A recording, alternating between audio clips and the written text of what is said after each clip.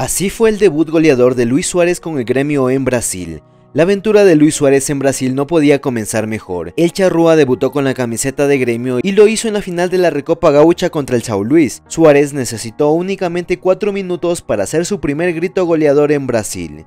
Con un sombrerito espectacular, el Charrúa demostraba su vigencia goleadora y este era solo un aviso de lo que se venía. Luis Suárez lograría un hack-trick en su primer partido en Brasil. De sombrerito, un mano a mano con el portero y otro de volea, fueron los goles del Charrúa en su debut soñado con la camiseta del gremio.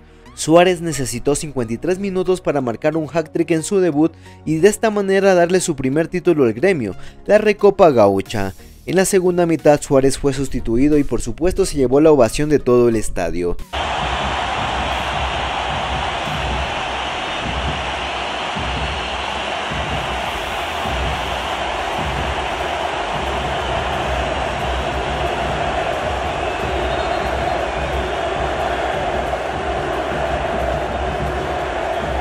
De esta manera, el Charrúa que ha marcado goles en Holanda, Inglaterra y España sigue agigantando sus números, esta vez empezando en Brasil.